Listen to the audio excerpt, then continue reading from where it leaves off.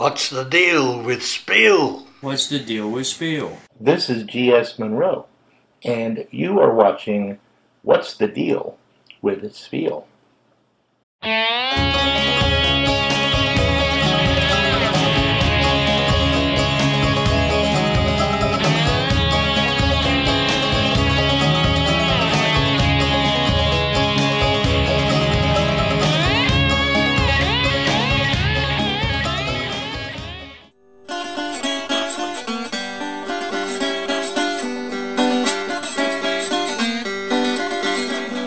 Guys, it's Shane Speal, and uh, I've been having fun with a new tuning, a new set of strings.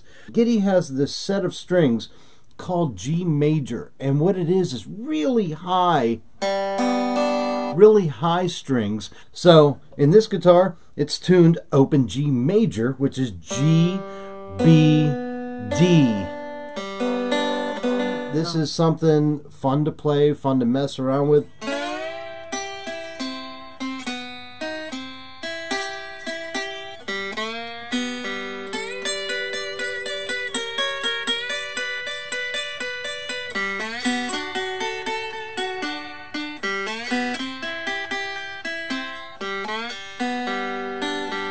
When I usually play cigar box guitar, I like it in that low grinding, low G.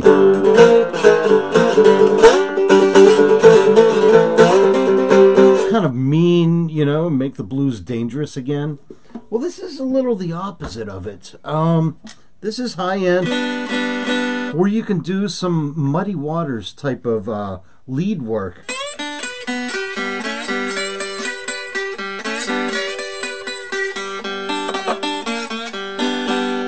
So first of all, let me show you the guitar I'm using, the slide I'm using, um, and then we'll dig into this. First of all, this guitar was a gift to me back in 2012, made by Roseanne Horn. Uh, she called her company Bluesbox. You can sort of see it, it's faint down here. I used this on the Holler album for my cover of Dink's song. And I've always had this guitar tuned a lot higher. Um, I can't even remember what I had it tuned to for Dinks. So I put on this set of CB Gitty G major strings, which is 0.026 wound, 0.017 plain, and 0.013 plain. As I was preparing this video, the slide I was using was the Shane Speal King slide, which is a big hunk of steel. But as I was playing, a lot of the uh, a lot of the sounds behind the slide were coming out because I'm going acoustic. These are very high strings, so I decided to try something different. This is brand new. This is the new Bone Digger slide from Stubby Slide, and it's made from actual bone. A bone slide deadens the strings a lot more than glass or metal.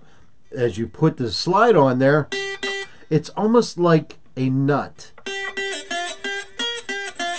You get precise fretting sounds with a bone slide. There's not as long of a sustain, but for what we're doing here in these high strings, it's still sustaining enough.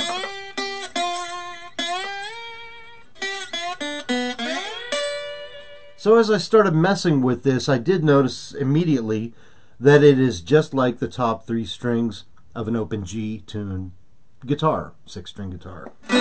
So uh, Muddy Waters used a lot of that. So in Can't Be Satisfied, the way Muddy does it, you're up at the 12th fret and you just go from the 10th to the 12th. On the high string, 10th to the 12th. On the middle string, 10th to the 12th. On the low string,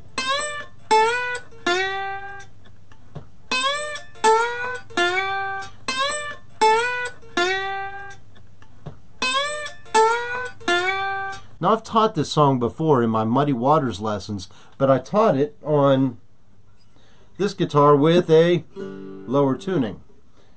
The actual original recording from 1949 um, has more of this tone on it. And then you go three open.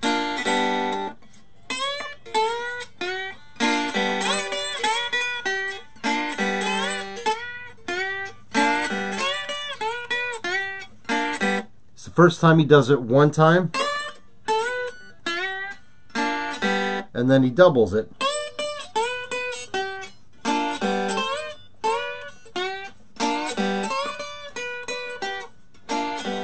If you get tired of playing the same cigar box guitar tuning and you're just going nowhere with it, get a pack of these strings. They're cheap. They're over at CB Gitty. I'll put the link in the description of this video, and uh, you can try something out. So let me see.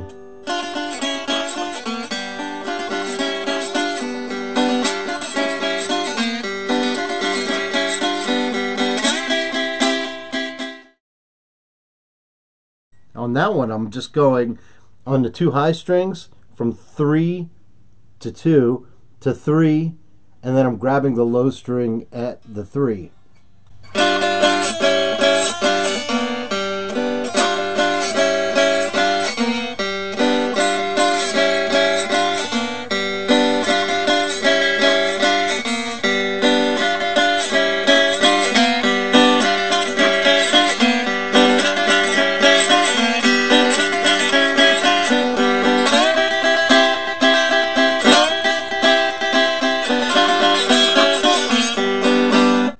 So there you have it. There's another fun little thing to try out. Um, and I haven't heard from her in a long time. Roseanne, if you're watching this, thank you again for this guitar. Um, I like I said, I recorded with it. It actually hung in the Cigar Box Guitar Museum at Speal's Tavern for several years, and now it's back home and I'm using it again. My name's Shane Speal. Thanks for joining me. This is just a little fun video.